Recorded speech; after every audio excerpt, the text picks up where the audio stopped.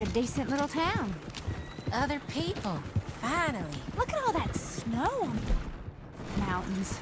Sure don't want to be back up there. You think we should have asked Molly to come with us? Oh, no. Miss O'Shea is far too high and mighty now for the likes of us. Or to do any real work. She's a society lady now. Okay. Take a good look around, ladies. Oh. See what we got here. Let's park up down the end there, near the stables.